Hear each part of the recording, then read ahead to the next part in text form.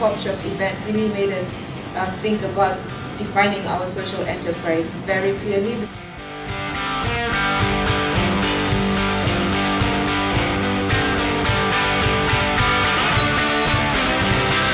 I've quite interested in uh, corporate social responsibility, but I wasn't aware until now actually how viable a social enterprise was.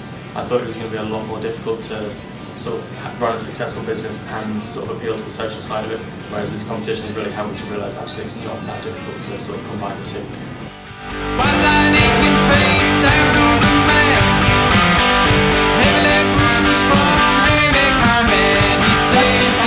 social enterprise is very well uh, like explained and people are not the same understanding. But now in the UK it's very well kind of defined we learn a lot about social enterprise. So I think it's something we can bring back to our country and start developing the social enterprise movement we learned a lot. And it's not all about profit it's like about uh, feeling good